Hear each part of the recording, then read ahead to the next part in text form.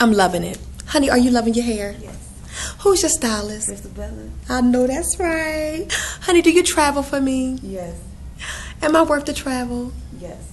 I love my clients. Don't I treat my clients good? Yes. How many times have you seen me? This is my second time, and I'll be back in June.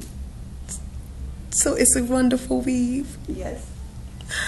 I just love these girls. I love them. And it looks beautiful. Your hair is beautiful, honey.